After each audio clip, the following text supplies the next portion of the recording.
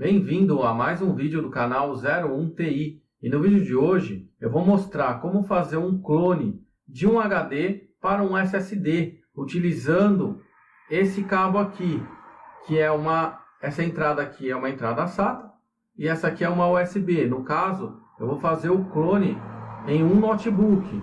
Como o notebook é diferente ali do, de um computador, ele não tem mais uma outra entrada SATA, né? Então a gente precisa utilizar um cabo igual a esse daqui.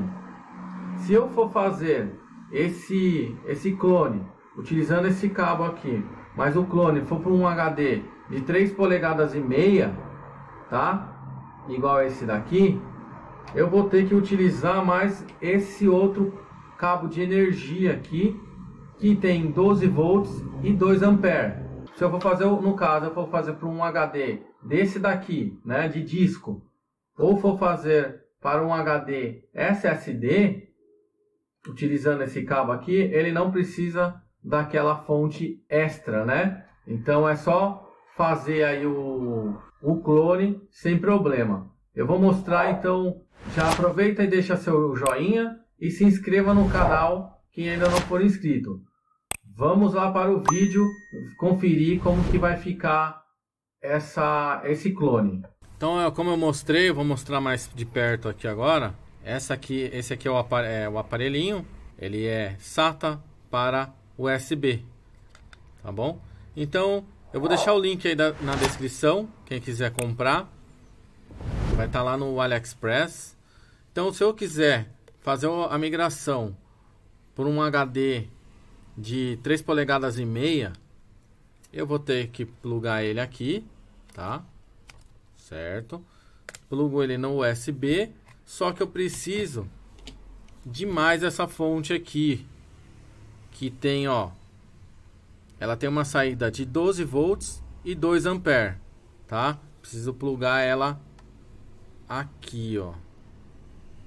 Plugou ela aqui. Plugou na energia lá. 110, 220 é bivolt. E aí ele vai funcionar a migração ou utilizar ele como um HD externo. Então aqui eu posso também migrar, né, para um HD convencional. Se meu HD, é, notebook tiver com HD desse tipo aqui que eu quiser mudar, migrar para um maior, mas desse mesmo tipo, é só utilizar ele aqui, ó. Você vai plugar e vai plugar a USB no computador sem precisar utilizar aquela outra fonte. E no nosso caso agora aqui, eu vou usar esse SSD da Kingston. Eu já tenho no meu notebook aqui, um, no meu notebook Dell, tá? Inspiron 5468. E eu vou colocar esse SSD aqui que ele é um SSD de, de 480 GB e o que eu tenho no notebook é de 240. Então vou fazer o seguinte, vou plugar ele aqui e vou plugar ele na USB. Vocês podem ver aqui, ó, que ele vai acender essas luzes e já foi reconhecido ali pelo sistema, tá?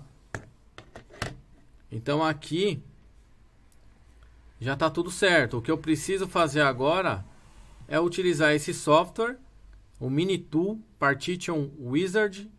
Então aqui agora no programa, né, só instalar ele aí. É só clicar aqui em Migrate OS to SSD HD Wizard. Clicou nele, ele vai dar essas duas opções. Essa, essa a gente vai na primeira opção Mini Tool Partition Wizard. Ele vai copiar todo o seu sistema, partições, vai copiar tudo. Então é essa opção mesmo, a de baixo não, não. Vem Next. Aqui ele já vai te dizer, ó, se eu colocar o HD que eu tenho meu Windows instalado, ele já não deixa. Já é a prova de erros, né? Então nós temos aqui, ó, disco 2, que é o HD que queremos fazer aí ah, o clone. Para ele que a gente vai jogar o clone, né? Então, selecionamos ele ali e clica em Next. Vamos vir aqui, ó, nessa primeira opção também, Fit Partitions to Entry Disk. E a segunda opção aqui, não vamos é, fazer mudar o tamanho da partição, essas coisas, tá? Porque cabe tudo certinho lá, sem problema. Então, é só clicar em Next, Finish. E aí agora, ó, só clicar em Apply. Ele vai vai perguntar aqui para mim se eu que se eu quero mesmo fazer isso. Eu vou clicar em Yes e ele vai começar aí o nosso clone. O clone foi feito aí com sucesso. Só clicar em OK. E agora eu vou é, eu vou desligar o computador. Como eu falei, eu vou mostrar a troca desse HD no próximo vídeo. Então é isso aí, pessoal. Então, pessoal, era isso aí que eu tinha para mostrar para vocês sobre é, esse clone. Vocês viram que ficou muito fácil, né, fazer ele.